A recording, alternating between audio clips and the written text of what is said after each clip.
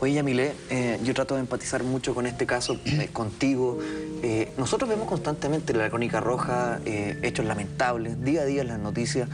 Muchas veces son propinados estos por terceros, pero me cuesta tanto imaginarme a un padre en este tipo de situaciones con, con sus propias hijas.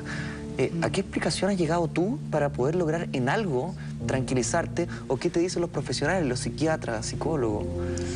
Mira, yo una cosa que soy es muy activa, busco respuesta.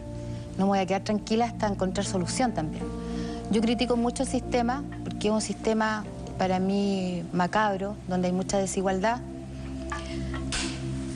y falta oportunidades para mucha gente. Entonces, la gente hoy en día no tiene información de lo que de verdad está pasando.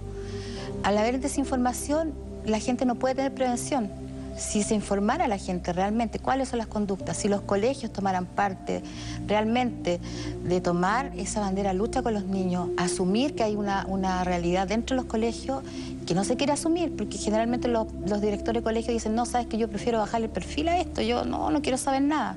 Que no sea tema que se relacione con nuestro establecimiento. Exacto. O incluso sostenedores que son, que tienen casos de abuso sexual, que mantienen dentro de su colegio abusadores sexuales y que llevan casos.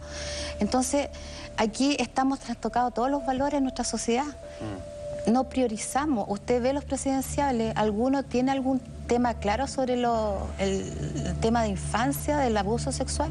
Ninguno. Yo hago, soy majadera, hago preguntas y no me contestan. Me dicen, no, esto lo construimos todo, pero tienen que tener políticas claras.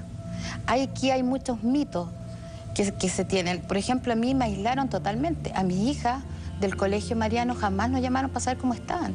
Pero sin embargo hicieron reuniones para decir que por favor nadie hablara o después dando explicaciones que ellos ya sabían. Pero nadie se preocupó. ¿Existe un cuidado especial de la imagen de los establecimientos más allá de las personas que están padeciendo algún tipo de abuso o de violación? No hay solidaridad, no hay. Nosotros quedamos absolutamente solas. Con mi familia más cercana sí. Tú me hablaste de dos colegios. Esto, el último que mencionas es el padre Mariano, pero ¿también pasó antes o no? La escuela italiana. Yo ahí nosotros teníamos un grupo de amigos eh, donde pasamos el año nuevo juntos en, el estadio italiano y jamás nunca llamaron ni nada. Quedamos solas. ¿Cuál será el problema ahí? ¿Qué crees tú? ¿El que dirán? ¿La vergüenza? ¿La imagen? ¿La marca? No.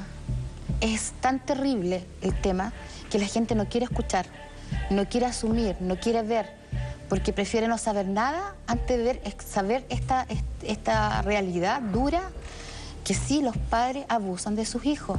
Los padres, hay, existen padres, para que tú sepas, padres roedores.